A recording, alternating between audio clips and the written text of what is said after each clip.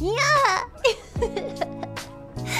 hello, hello. Salutations. Hear ye, hear ye.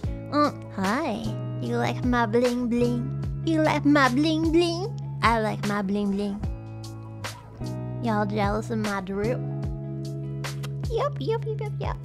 I am um, um, um, um, um, um, um, um. Got it, got it, got it on sale, got it on sale. Beautiful, beautiful cheetah um fur coat. It's not real. That would be terrible. Um, um, um, um, um. I uh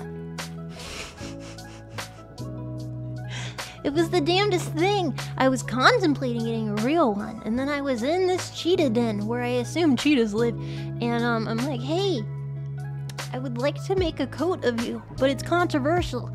And the cheetahs luckily spoke English, and they said, I've got. I've encountered this issue before, and so we went on a magical adventure to the States, and um, we hunted down a furry, and we skinned him, and um, yeah, this is locally sourced you know, it's, it's very homegrown. What? What?